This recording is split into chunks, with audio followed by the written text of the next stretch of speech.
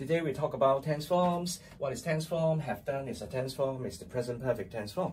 So first of all, we have got the tense, present tense P, past tense, we, because we say bye-bye to the past, so it's B, and then future tense, we have F, but we also have the manner of the action. If something that takes place all the time is the simple aspect, so we have present simple tense.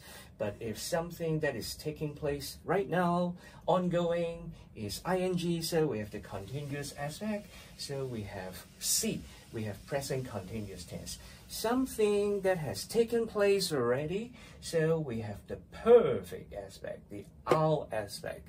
And then that's not the end of the story. We still have got the voice. You hit people or you were hit by the others.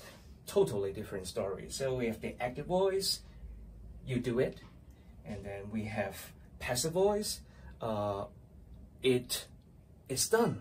So two different things. We have active voice and passive voice with a V. And then finally, we have also have mode. Uh, sometimes we make a positive sentence. Yes, I know the answer. That's positive. Uh, I do not know the answer. Do not know is negative. Do you know the answer is question mark, interrogative.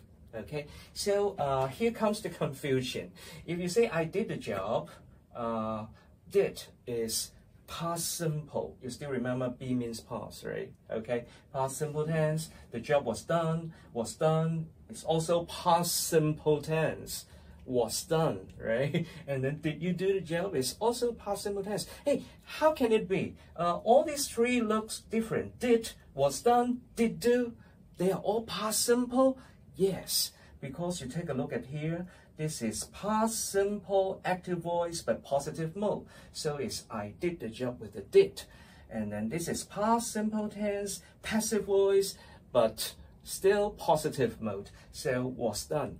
Uh, if is it were was not done is the negative mode. So was not done is different. But was done without the not is the positive mode. Finally, did do, did you do the job is past simple tense, active voice, but uh, why uh, are the two do separated but still in one tense form, past simple, because it's the interrogative mode. You're asking a question. So it's did do, still is past simple tense.